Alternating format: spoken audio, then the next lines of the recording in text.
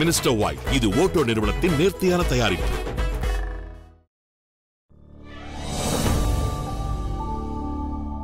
தர்பார் படத்தோட ஷூட்டிங் ஆரம்பிச்ச நாள்ல இருந்தே சரி சோஷியல் மீடியால தொடங்கி எல்லா பக்கமும் தலைவர் படம் அப்டேட் சொல்லுங்க தலைவர் படம் அப்டேட் சொல்லுங்கன்னு கேட்காத ரசிகர்களே கிடையாது. இரவு பகல்னு பார்க்காம எடிட்டிங்ல தீவிரமா ஒர்க் பண்ணிட்டு இருக்க இயக்குனர் ஏ ஆர் முருகதாஸ் கிட்ட பேசணும். தர்பார் படத்தை பத்தின அப்டேட்ஸ் என்னன்னு கேட்டோம். அவரும் நிறைய இன்ஃபர்மேஷன் கொடுத்தாரு. எல்லாரும் மாதிரியும் நானும் ரஜினி சாரோட ஃபேன் தான். அது என்னவோ தெரியல படம் பண்றதுக்கான வாய்ப்பே அமையல. ஆனா எதிர்காலத்துல நிச்சயமா வாய்ப்பு இருக்கு அப்படின்னு விகடன் மாணவ பத்திரிகை நிகழ்வுல கேட்ட கேள்விக்கு நீங்க சொன்ன பதில் இது. சோ இப்ப சொல்லுங்க சார் இந்த தர்பார் படம் எப்படி உருவாச்சு அப்படின்னு நாங்க கேட்ட கேள்விக்கு தமிழ்ல கஜினி ரிலீஸ் ஆனதுமே ரஜினி சார போய் மீட் பண்ண. அவர் என்ன விஷ் பண்ணாரு? ஆனா படம் பத்தி நாங்க எதுவுமே பேசவே இல்ல. ரெண்டு வருஷம் கழிச்சு அகைன் மீட் பண்ணோம். இந்த முறை படம் பண்ணலாம் அப்படின்னு அவர் சொன்னாரு. ஆனா பல காரணங்களால படம் தள்ளி போயிட்டே இருந்தது. சர்க்கார் ஷூட்டிங் அப்போ மீண்டும் கூப்பிட்டாரு என்ன? இந்த முறை வாய்ப்பை தவறவே விடக்கூடாது அப்படின்னு உறுதியா இருந்தேன். படத்தோட கதையை சொன்னேன். அதுல என்ன கரெக்ஷன் சொன்னாலும் அடுத்த நாளே சரி செஞ்சுட்டு போய் நிப்பேன். ஒரு மாசம் கழிச்சு கிரீன் சிக்னல் கொடுத்தாரு. இந்த பேட்டர்ல நான் படம் பண்ணதே கிடையாது. படத்தை இப்பவே தியேட்டர்ல பாக்கணும்னு அவ்வளவு ஆர்வமா இருக்கு அப்படின்னு சார் சொன்னாரு.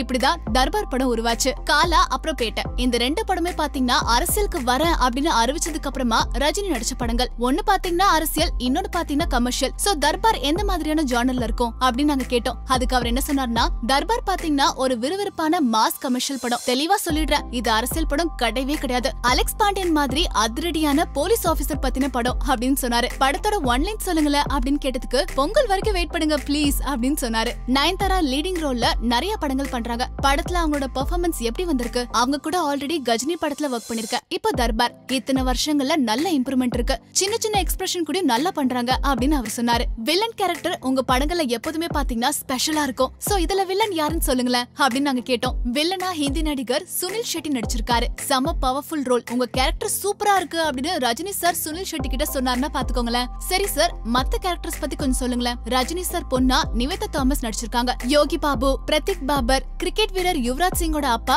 யோகராஜ் சிங் நவாப் ஷான்னு முக்கியமான நடிகர்கள் இருக்காங்க. இது தவிர மும்பை பேக் டிராப்ல நடக்கிற கதை அப்படின்றதுனால நிறைய தியேட்டர் ஆர்டிஸ்ட் நடிச்சிருக்காங்க. மீண்டும் பாத்தீங்கன்னா அனிருத் கூட்டணி. சாங்ஸ் எல்லாம் எப்படி வந்திருக்கு அப்படின்னு நாங்க கேட்டதுக்கு ஆமா கத்தியில அனிருத்தோட வேலை செஞ்சிருக்கேன் இதுல எல்லா பாட்டுமே சூப்பரா வந்திருக்கு. எப்பவும் போல ரஜினி சாரோட முதல் பாட்டை எஸ்பிபி பாடிருக்காரு ரஜினி சார் ரசிகர்களுக்கு பாடல்கள் ஒரு சம கொண்டாட்டமா இருக்க போது பெரிய டெக்னிக்கல் டீம் ஒண்ணு கூடி இருக்கே அப்படின்னு நாங்க கேட்டோம். அதுக்கு என்ன சொன்னார்னா பெரிய டீம் மட்டும் இல்ல ரொம்ப ஸ்ட்ராங்கான டீம் சந்தோஷ் சிவன் ஒளிப்பதிவு கலை சந்தானம் எடிட்டிங் பிரசாத் சண்டை பயிற்சி Ram Lakshman climax action Peter Hein நடனம் பிருந்தா ஷோபி ராஜசுந்தரம் பாடல்கள் விவேக்னு நல்ல டீம் அமைஞ்சிருக்கு. விஜயகாந்த் சிரஞ்சீவி விஜய் ரஜினின்னு நீங்க இயக்கிய இப்போ இயக்கிட்டு இருக்க எல்லா ஹீரோஸும் பாத்தீங்கன்னா கிட்டத்தட்ட எல்லாருமே அரசியல் தொடர்பா இருக்காங்க. இந்த ஹீரோஸ்க்காக உங்க காட்சிகள் இல்ல டைலாக்ஸ் ஏதாவது மாத்திருக்கீங்களா? இல்ல அவங்களா ஏதாவது வந்து கேட்பாங்களா அதுக்கு அவர் என்ன சொன்னார்னா எந்த நடிகரையுமே புகழ் பாடணும் அப்படின்னு நான் வசனம் எழுதவே மாட்டேன். அப்படி எழுதுங்கன்னு யாரும் என்கிட்ட வந்து கேட்கவும் மாட்டாங்க. பேசுற வசனங்களை யார் மனசு புண்படக்கூடாதுன்றதுல ரஜினி சார் ரொம்பவே கவனமா இருப்பாரு. இப்படி பேசினா அவங்கள புண்படுத்துற மாதிரி வருமான்னு கேட்டு கேட்டு தெளிவுபடுத்திட்டே இருப்பாரு. அடுத்த படமும் நீங்க ரஜினியை வச்சு இயக்க போறதா சொல்றாங்களே அது உண்மையா சார்? இப்ப என்னோட கவனம் எல்லாமே முழுக்க முழுக்க தர்மர் மேலதான் இருக்குது. ஆனா எங்க ரெண்டு பேருக்குமே இன்னொரு படம் சேர்ந்து பண்ணலாம் அப்படின்னு ஆசை இருக்கு. ஆண்டவ சொன்னா அருணாச்சலம் செய்வார் அப்படின்னு சொன்னாரு. தனிப்பட்ட முறையில ரஜினியோட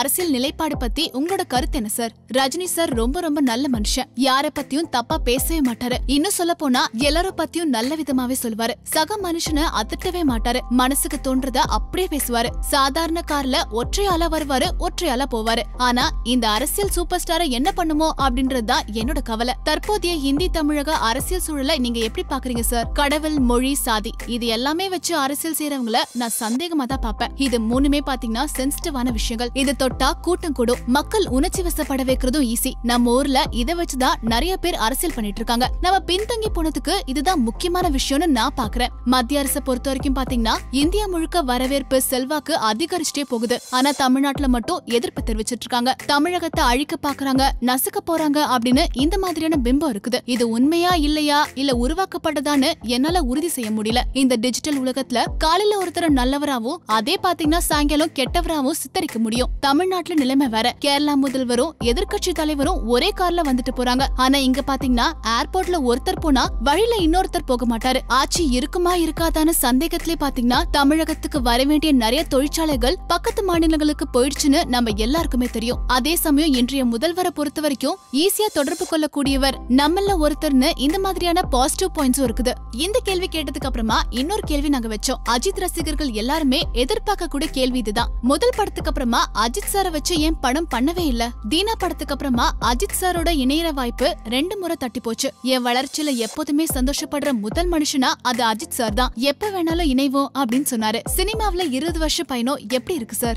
நிறைய பார்த்துட்டேன். பணம் இருக்கிறவன் இல்லாதவன் போலவும் இல்லாதவன் இருக்கவன் போலவும் புத்திசாலி முட்டாள் போலவும் முட்டாள் புத்திசாலி போலவும் நல்லவன் கெட்டவன் போலவும் கெட்டவன் நல்லவன் போலவும் பெரிய மனுஷன் சின்ன புத்தியோட சின்ன மனுஷன் பெரிய மனசோடும் கோமாளி ராஜா மாதிரியும் ராஜா கோமாளி மாதிரியும் நிறைய நடிப்பை பார்த்துட்டேன். ஆனா அதே சமயம் பாத்தீங்கன்னா கோடிக்கணக்கான முதலீடு எந்த ஒரு கையெழுத்தும் இல்லாம வார்த்தைய நம்பிக்கையில நடப்பது பிரச்சனை அப்படின்னா ஓடி வந்து உதவுறது வேலை செய்யற இடத்துல அண்ணன் தம்பி மாதிரியான பாசமும் குரு சிஷ்யன் அப்படின்ற நிரந்தர பந்தமும் இந்த சினிமாவில மட்டும்தான் உண்டு. ஏஆர் முருகதாஸ் அப்படின்ற ஒரு டைரக்டரை நீங்க எப்படி சார் பாக்குறீங்க? உழைப்ப மட்டுமே மூலத்தனமா கொண்டவன். வெறும் கமர்ஷியல் இயக்குனர் அப்படின்ற பார்வையை சீக்கிரமா வந்து மாத்துவான். உங்க மேல வைக்கப்படுற விமர்சனங்களை நீங்க எப்படி சார் பாக்குறீங்க? அதுக்கு என்ன சொன்னார்னா பேசுறதுக்கு அவங்களுக்கு நிறைய நேரம் இருக்கு. செய்யறதுக்கு எனக்கு நிறைய வேலை இருக்கு அப்படின்னு சிம்பிளா முடிச்சிட்டாரு. சினிமாக்கு வந்துட்டு இருக்க அப்கமிங் டைரக்டர்ஸ் பத்தி சொல்லுங்களேன் சார் எல்லார்கிட்டயும் புது புது அணுகுமுறை இருக்கு. நல்ல திறமை இருக்கு. கடுமையா உழைக்கிறாங்க. தமிழ் சினிமா எதிர்காலத்துல எப்படி இருக்கும்னு நீங்க எக்ஸ்பெக்ட் பண்றீங்க? மொழிகளை கடந்து அசுர வளர்ச்சி அடையும் அப்படின்னு சொன்னாரு. உங்க எல்லா படங்களுமே பாத்தீங்கன்னா அரசியல் கருத்துக்கள் இருக்கும். நேரடியா அரசியலுக்கு வரணும் அப்படின்ற எண்ணம் இருக்கா சார் அப்படின்னு நாங்க கேட்டதுக்கு அவர் என்ன சொன்னார்னா சினிமா தான் எனக்கு ரொம்ப பிடிக்கும். என்னோட ஃபீல்ட் சினிமா மட்டும்தாங்க அப்படின்னு சொல்லி முடிச்சாரு. மினிஸ்டர் ஒயிட் வேஷ்டிகள் மற்றும் சட்டைகள். இது ஓட்டோ நிறுவனத்தின் நேர்த்தியான தயாரிப்பு.